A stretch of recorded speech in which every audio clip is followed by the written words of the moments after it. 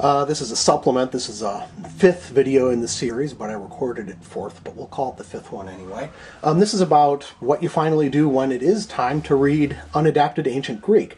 Here are some of the tools you may find yourself using. Uh, this in this in front of the camera right now, instead of my smiling face. Uh, in front of the camera right now is Liddell and Scott's Intermediate Greek English Lexicon.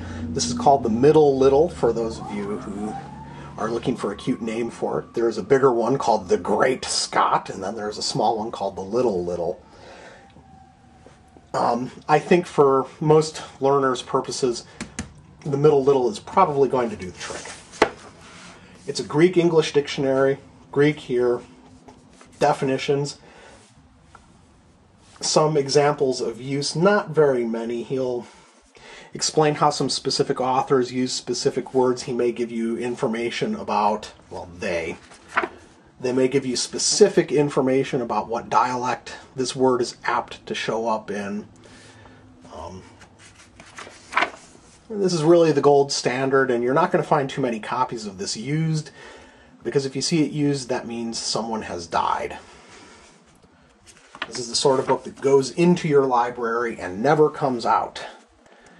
Um, you should be able to pick up the Middle Liddell for about $50 or so. It's it's probably the one you would want to use just for ordinary casual use. For serious use, you want to step up to the Great Scott. Um, got this when Borders went out of business. Lucky me. Oh my goodness, it's a translation. This is from the Oxford World's Classics. This is the Plato Symposium. And there's nothing much to say other than get familiar with the content of what's in the unadapted Greek. Uh, this is for students who are just beginning. Find out what it is you're learning how to read. Get excited about it. Get yourself some real motivation here. Um, Oxford World's Classics, Penguin Classics. There's all sorts of inexpensive translations of all of the major authors. Find who you like, read it, and if you like them in English, you'll like them even better in ancient Greek. Um, I don't know what else to say other than that. However, one final tool. This is my copy of Herodotus' Histories, Book 1. Um, published by Geoffrey Steadman. He is the author of the notes and commentary and also the publisher. He's done these on demand, so then that way they're never out of print and they're never out of stock and it's it's just great. I'm I'm so thrilled that Steadman is doing this because what he's doing is he's taking the approach that you should read ancient Greek as opposed to reading a bunch of grammar manuals. You should read ancient Greek. What he's done is he's reproduced a public domain copy of the Oxford text, which is a critical text. That is our best guess as to what the text actually was when Herodotus wrote it. Down here is the apparatus, which, well, if you're an intermediate reader like I am, there's no need to fuss with that.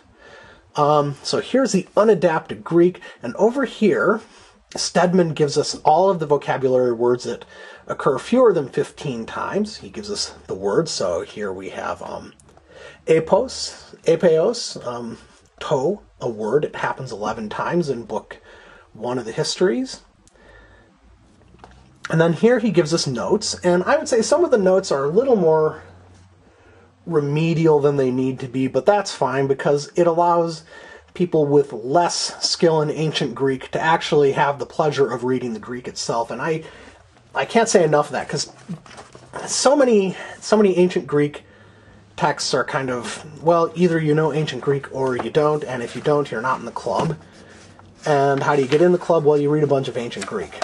Well, how did you get to do that? Well, I don't remember. I just read ancient Greek now. And in the back, he has the full vocabulary for the ones that happen more than 15 times. So we have like um, thala, thalassa, hey, see happens 22 times. So you're, this book is really quite self-contained. And it's published, it's printed on demand, so you don't need to wait around for the publishing company to get up on this. You can you can just buy a copy directly from Amazon.com, and Steadman gets a little bit of money, and you get the book, and it's all very very exciting and good. Um, and you don't have to wait around for someone to decide, well, it's worth our time to print a couple thousand copies of this. No, Steadman's going to make it available so that you can get it one copy at a time. He's done other books. Um, my understanding is he's working on Herodotus' Histories, Book 7. Um, he's done Plato's Symposium. He's done some of the Iliad and the Odyssey. He's really doing a phenomenal favor to anyone who wants to read ancient Greek and is not at a really advanced level. I can't say enough about what he's doing.